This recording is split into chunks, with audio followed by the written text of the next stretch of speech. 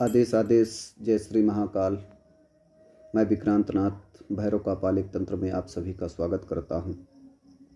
आज मैं आप लोगों के सामने एक बेहद ही चमत्कारी प्रयोग लेके आ रहा हूँ। और बेहद ही कारगर, कह लीजिए। यह मेरे परम पूजनीय गुरुदेव वीरनाथ जी के मुख से मुझे यह उपाय प्राप्त हुआ था, जिनकी शनि की साढ़े साती चलती हो।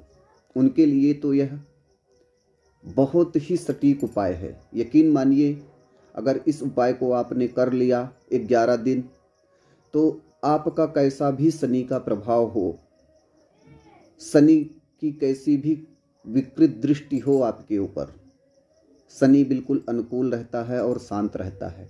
और साथ ही साथ इस उपाय को करने से हनुमान जी की असीम कृपा प्राप्त होती है। अब आपको क्या करना है, वह सुनिए। किसी भी चतुर्थी तिथि से मंगलवार फंसे।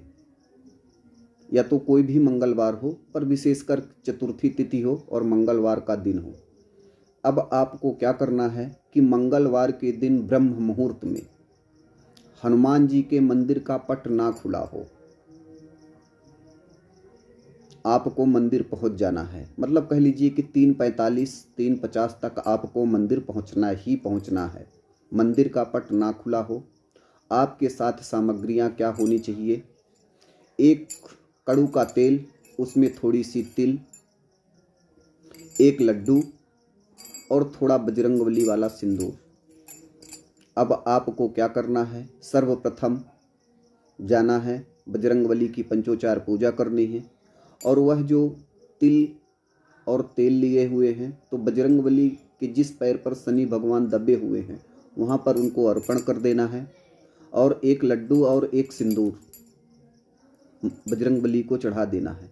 और ऐसी बजरंग बली से कामना करनी है कि मेरे ऊपर जो भी शनि की कुदृष्टि हो या मेरे ऊपर भूत, पिशाच, भूत, पली, जिन, बैताल का साया हो, हे प्रभु आप उन्हें दूर करिए और मुझे आशीर्वाद प्रदान करिए।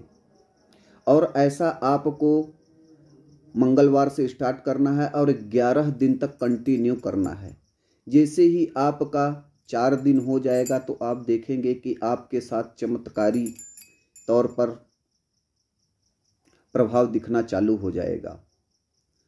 और यकीन मानिए, यह बेहद ही बेहद ही कारगर और बेहद ही पावरफुल उपाय है, जो मैं, मुझे अपने गुरु के द्वारा प्रदान हुआ था। वही चीज़ मैं आप लोगों के सामने शेयर कर रहा हूँ। आप लोग इस उपाय को ज़रूर करिए और ज़रूर देखिए और अपना अपना अनुभव बताइए कि कैसा रहा। आदेश, जय श्री महाकाल। मेरे चैनल को लाइक करिए सब्सक्राइब करिए एवं शेयर करिए।